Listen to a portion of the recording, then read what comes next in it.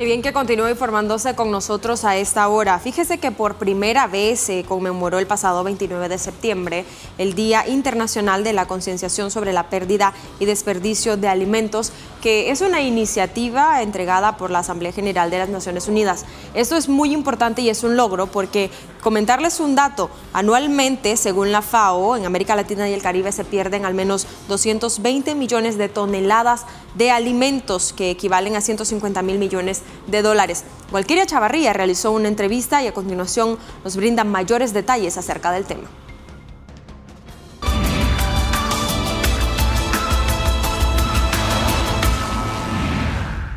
Hola, ¿qué tal amigos? Le damos la bienvenida a Iván León. Él es representante de FAO en Nicaragua. Don Iván, gracias por acompañarnos en esta ocasión y por darnos eh, información vital sobre este tema tan importante. Eh, como mencionaba, pues eh, en el noticiero, eh, esta semana se conmemoró un día muy especial que tiene que ver con el buen aprovechamiento de los alimentos y el desperdicio. ¿Cómo estamos nosotros en América Latina en este sentido? Hay, se dice que a diario se manejan muchos alimentos, pero ¿cuántos de estos alimentos realmente son bien aprovechados por las personas?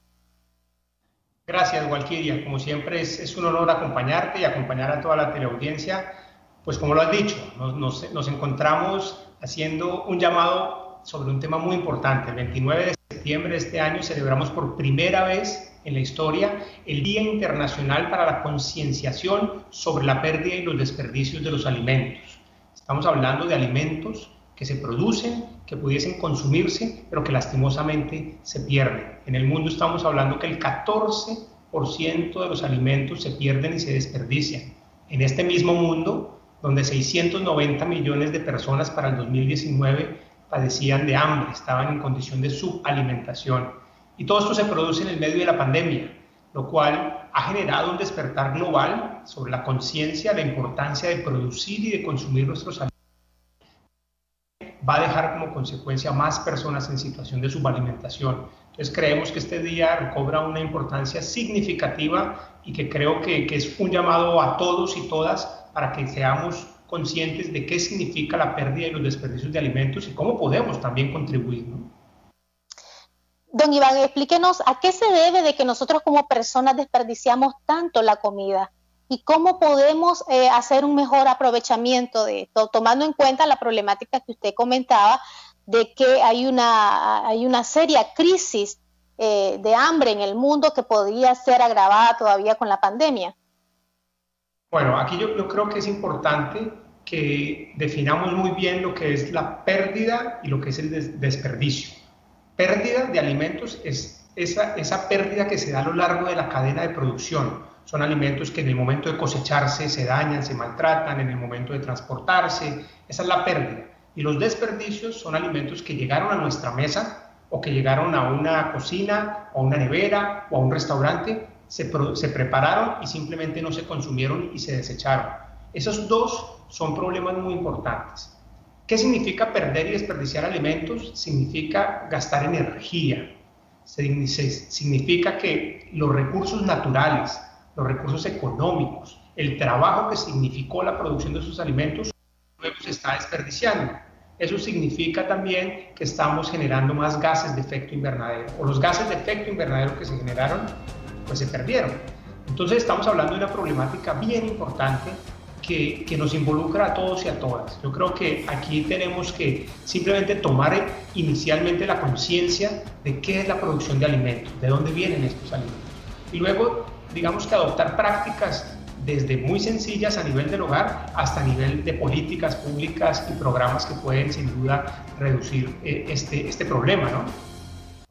¿Cuáles serían esas políticas y esas prácticas que, podíamos, que podríamos echar a andar desde casa y también desde los tomadores de decisiones? Mira, en América Latina este es un tema que hemos venido trabajando en los últimos años y hemos venido conformando redes nacionales en el caso de Nicaragua estamos iniciando justamente en el 2020 la conformación de una red nacional, la cual tiene como propósito, a partir de investigaciones, a partir de generar el monitoreo, generación de la información, también la sensibilización, invitar a todos los actores para el desarrollo de políticas públicas y programas para coordinación de acciones conjuntas. ¿A qué nos referimos acá? Hay, hay programas que se pueden hacer en los mercados mayoristas. Por ejemplo, una buena opción es que todos los desperdicios de alimentos que se generan a nivel de los mercados puedan utilizarse en sistemas de compostaje para luego ser preparados como fertilizantes, como abono, perdón, para la producción de alimentos. Hay programas asociados al monitoreo y el manejo de eh, grandes superficies, digamos de almacenes y mercados de grandes superficies, donde los alimentos que están próximos a vencer se pueden entregar a modelos de, reparto de alimentos para población, digamos, vulnerable en varios países de América Latina se hace eso a través de lo que se llaman los bancos de alimentos. Son todos esos alimentos que están a uno o dos días de vencerse, que aún son consumibles, que tienen todas sus propiedades nutricionales y organolépticas, antes de que se venzan, son distribuidos mediante esquemas logísticos a programas de población vulnerable. Tenemos también ejemplos muy interesantes de lo que significa, digamos, generar una mayor conciencia hacia el consumidor Muchas veces como consumidores estamos acostumbrados de que la fruta perfecta es la que llevo. Y si hay una fruta que, de pronto tiene una malformidad o que no está perfecta como me la muestran en, en, los comerciales, no la llevo. Pero resulta que es una fruta que tiene las mismas características nutricionales. Entonces también debemos ser un poco más conscientes y no comprar solo por la belleza, porque realmente el valor de los alimentos está en la composición nutricional. Entonces, por ejemplo, la producción orgánica, sostenible de alimentos es, presenta alimentos menos, menos gustosos, digamos, a la vista, pero son nutricionalmente y saludablemente mucho mejores. Entonces, hay diferentes estrategias que están desarrollando. Yo creo que eh, iniciar con, con, que todos tomemos conciencia, y esa es la intención este Día Internacional que celebramos el 29 de septiembre, estamos generando un cambio, estamos transformando. Debería entonces esto, a partir de esto que usted nos comentaba, don, eh, Iván, eh, llevar a los países del mundo, sobre todo en el contexto de la pandemia, a repensar sus actuales sistemas de producción y abastecimiento de alimentos, previendo también eh, de que la problemática del hambre en el, en el mundo pueda acelerarse? Sí, definitivamente. Es realmente cuando uno comienza a analizar la pérdida de los desperdicios de alimentos, eh, tiene que entender primero lo que significa el sistema agroalimentario, ¿no?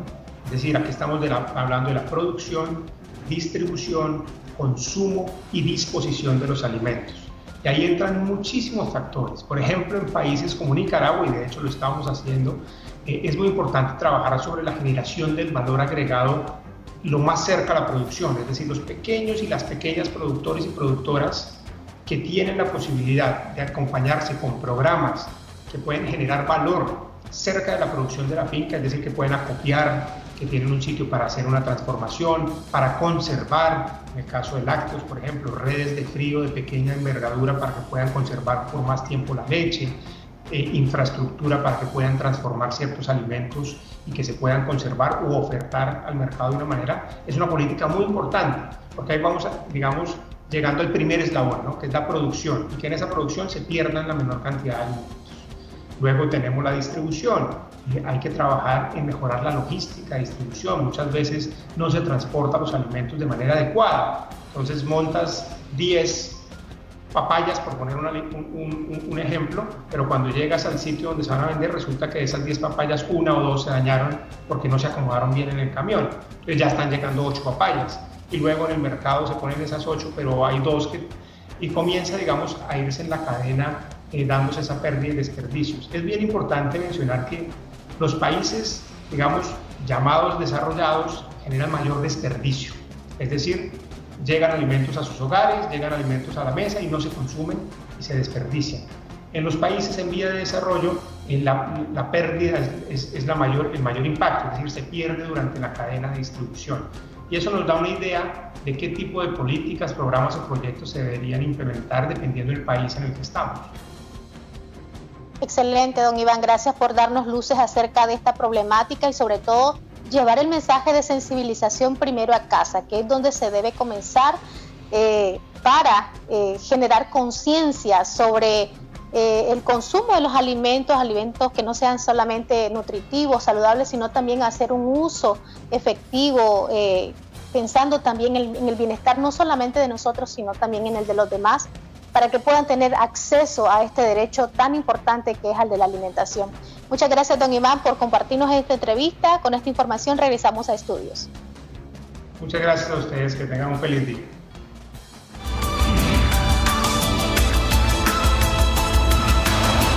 Gracias, Golquiria Chavarría. Nos separamos un breve instante, no le cambie, volvemos con más noticias.